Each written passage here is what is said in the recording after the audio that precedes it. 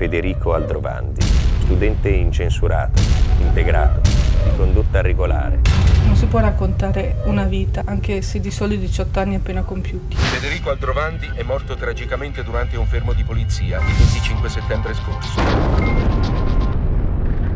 Muore a 18 anni è giallo. Il ragazzo ucciso da un marrone. Si è accasciato davanti agli agenti. Caricato da un'auto in fuga, tocchiati gli amici del mondo. Tuo amico è morto perché è un drogato, anche tu sei un drogato, dimmi da chi prendete la droga. Uh, è morto. È morto? Ah.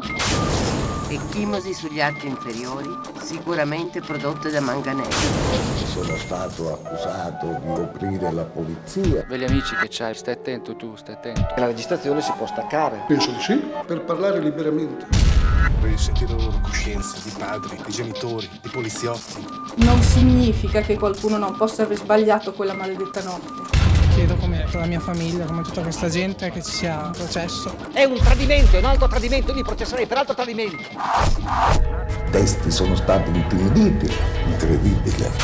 Guardate come hanno ridotto mio figlio, che c'entra la droga? Un agente gli schiacciò la schiena impedendogli di respirare aveva un collo taurino. Poliziotti che continuavano a picchiarlo quando lui era per terra. Siamo qui per aiutarti. È facile che un manganello si rompa. Una frattura tra due corpi dello Stato. È clamoroso questo referto qua.